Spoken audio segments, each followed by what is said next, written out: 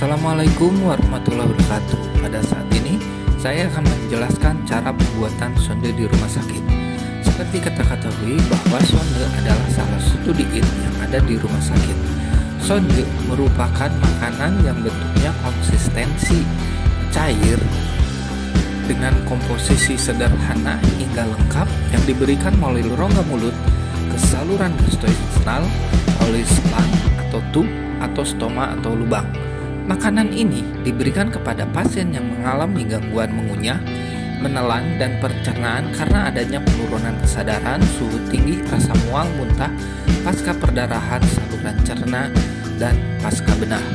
Di mana tujuan dari pemberian sonde ini adalah memberikan makanan yang bentuk cair untuk memenuhi kebutuhan gizi pasien dengan tidak memberikan memberatkan saluran cerna dan mudah diserap dan meninggalkan sisa antirosidu di mana bahan makanan untuk dua porsi sonde adalah sebagai berikut.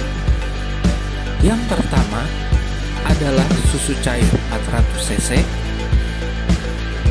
telur 1 butir, gula pasir 35 gram, tepung maizena 10 gram, dan terakhir mentega sekitar 5 gram. Dan nilai zat gizi dari sonde tersebut energi 550, protein 19, lemak 25, dan karbohidratnya 63. Cara pembuatan sonde adalah sebagai berikut. Siapkan bahan-bahan terlebih dahulu. Masukkan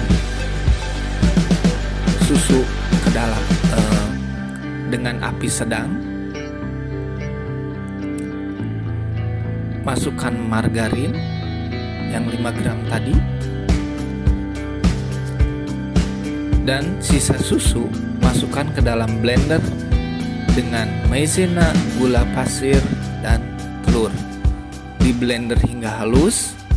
Setelah di blender dengan halus, masukkan blenderan tersebut ke dalam susu yang telah dipanaskan di atas api sedang tersebut. Nah, tuangkan bahan yang sudah di blender ke dalam panci. Setelah mendidih, tuangkan dan saring ke tempat yang bersih. Setelah disaring, sajikan sesuai takaran sesuai dengan dua porsi tersebut. Demikianlah cara pembuatan sende di rumah sakit. Terima kasih. Wabillahi taufiq Wassalamualaikum warahmatullahi wabarakatuh.